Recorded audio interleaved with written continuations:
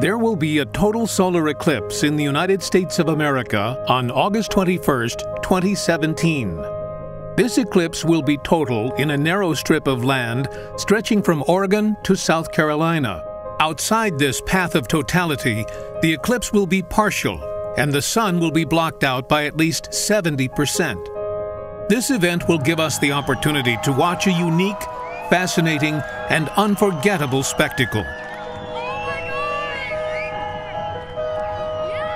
But beware, even with more than 70% of its surface covered, the sun can cause permanent and irreversible retina burns if viewed with the naked eye or without adequate eye protection. Even when partially eclipsed, the sun should never be viewed with the naked eye or through makeshift filters. Never use several pairs of sunglasses on top of each other.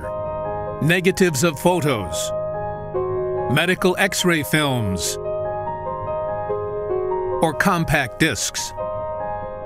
It is therefore necessary to wear special eclipse glasses, which are new and not scratched or damaged, or to use certified solar filters and instruments.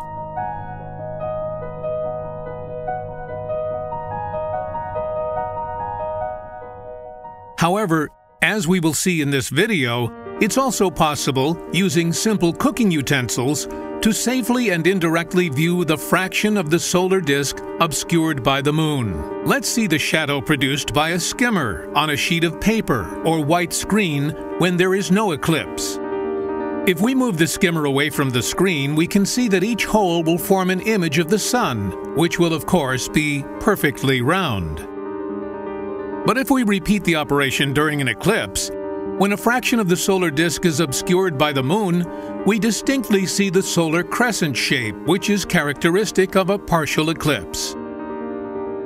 This is a direct application of an optical phenomenon involving a pinhole or small opening. This experiment can also be carried out with a colander. The mesh of a vegetable blender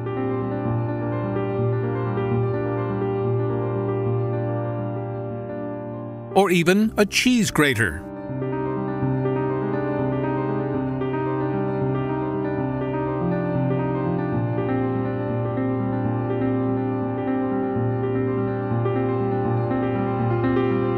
You can even use a sheet of paper pierced with one or more holes.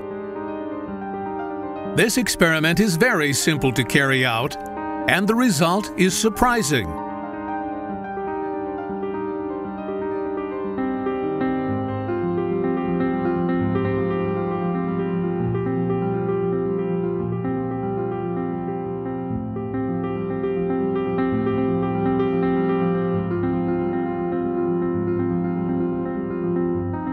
Binoculars can also be used to project the sun's image onto a support.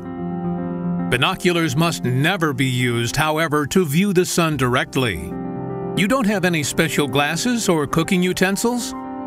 No problem. You can simply look at the ground under a tree.